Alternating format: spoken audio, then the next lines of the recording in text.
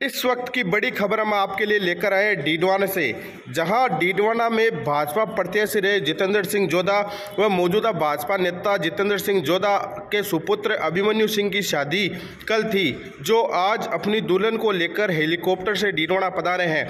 आपको बता दें कि वो अपनी दुल्हन को लेकर डीडवाना हेलीकॉप्टर से पधारे हैं। वहीं हेलीकॉप्टर डीडवाना में एंटर होते ही सर्वप्रथम शहर के चारों ओर चक्कर लगाकर फिर हेलीपैड पर आकर उतरता है। हेलीकॉप्टर आप देख सकते हैं, आसमान आसमान में उड़ रहा है, उड़ते हुए हेलीपैड पर आता है और उतरता है। उतरते ही लोगों की देखने वालों की भीड़ उमड़ पड़ती है।